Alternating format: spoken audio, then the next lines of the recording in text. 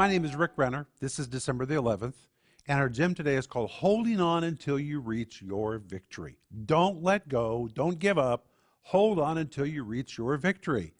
And I have a scripture for you. Hebrews 11, verse 36 says, You have need of patience. Well, that's what most people don't want. They're tired of waiting.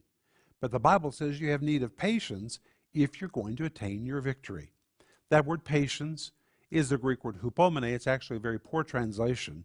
It's a compound of the word hupo, which means to be under, and the word meno, which is the resolute decision of a person who says, This is my spot, I'm not budging.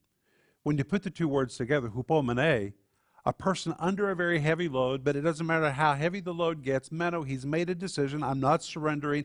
I'm not budging. I'm not surrendering my position.